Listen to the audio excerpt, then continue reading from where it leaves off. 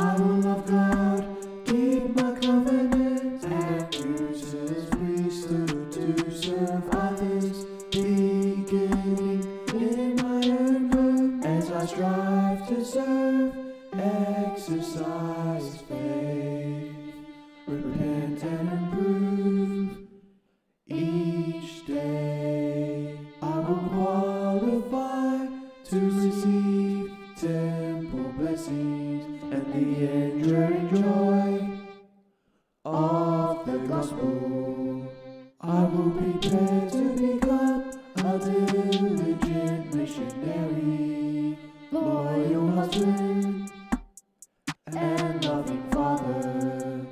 By being a true disciple of Jesus Christ, I will help prepare the world for the Savior's return.